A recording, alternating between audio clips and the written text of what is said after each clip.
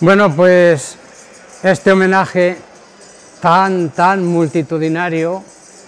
es como un sueño para mí, no me lo podía esperar. Sí, que tenía idea y me decían, te van a hacer un homenaje, pero no con tanta cantidad de gente que ha venido y con ese esfuerzo que han hecho para representar cada uno esos bailes tan hermosos entre los que, claro, se encontraban los de la procesión del Corpus, que con tanto cariño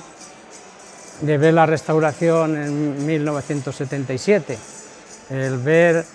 la MoMA por una parte, esa danza tan simbólica y tan interesante para dentro del corpus, para mí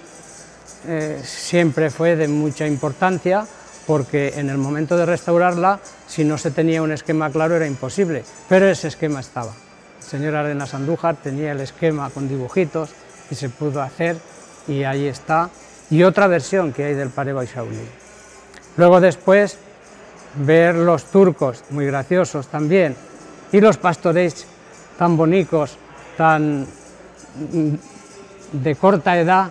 como mis niños de Albal cuando los traía en primer curso, todo eso me recordaba eh, todos esos momentos tan felices que he tenido en mi vida y en todo momento doy gracias a Dios por tanto regalo que me ha hecho y que me hace. Por lo tanto, bueno, el, el homenaje sobrepasaba mis expectativas por eso, por lo entrañable, tantas personas, tantas y tantas personas que han acudido, que quiero y que me quieren, y es algo, bueno, pues, pues eso, de regalo divino para mí.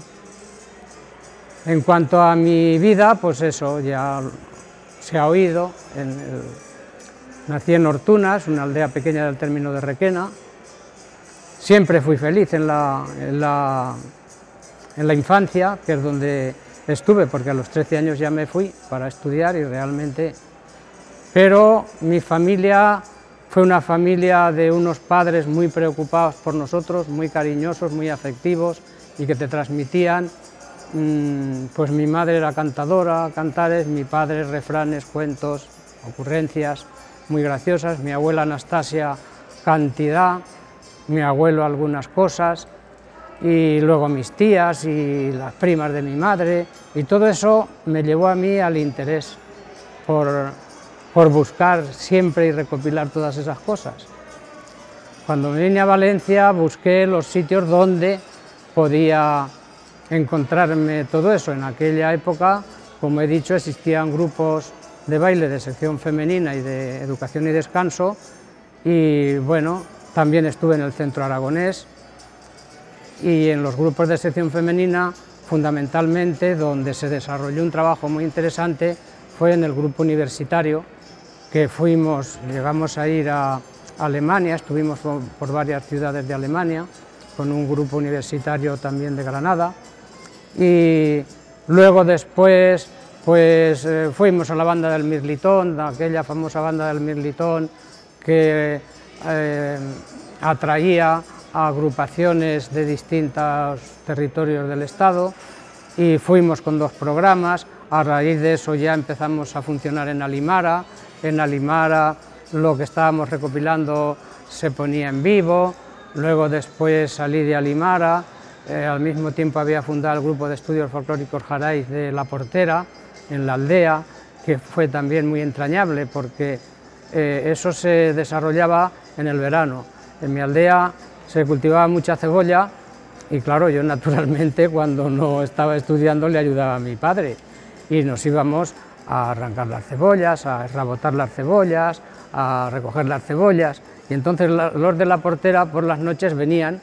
a recogerme para que fuera a enseñarles a cantar y a bailar, todo lo que teníamos recopilado, yo con una olor a cebolla que trascendía, pero bueno, aquello fue muy feliz y de ahí empezó esa agrupación que luego pasó a Requena y que luego se convirtió en Cantares Viejos, que son esta gente joven que ha venido. Eh, lo de la restauración de las danzas del corpus fue algo para mí también de ensueño, que me llamaron del Ayuntamiento de Valencia, sería, ¿estarías dispuesto a...? Yo digo, no se trata de estar dispuesto, se trata de eh, encontrar material eh, y documentación para montarlo. Bueno, aquello fue apareciendo y se consiguió y en ese 1977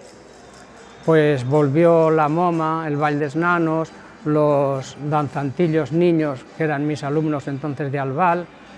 y luego después cuando estuve en Valencia, en Valencia, y bueno, fueron 23 años que me encargué de las danzas del Corpus. Cuando ya volví a Requena y me jubilé allí, pues ya les dije, continuar los más jóvenes que yo ya me tengo que dedicar a nuestra profesión del Corpus. Y bueno, ya poco más. Eh, estamos haciendo constantemente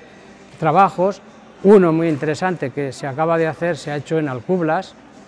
que tenía yo materiales y con esos materiales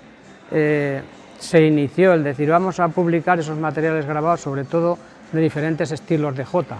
unos estilos de jota muy interesantes de la serranía en Alcublas y luego después pues bueno, es que de la recopilación de María Teresa Oller había también algunos cantos que se pueden reproducir porque las cintas no estaban en buenas condiciones, se reprodujeron. Pero mientras estaba haciendo eso, personas que todavía, porque dicen, ya se ha acabado la recopilación, no, todavía hay muchas personas que recuerdan. Y de hecho, en Alculas ha sucedido eso.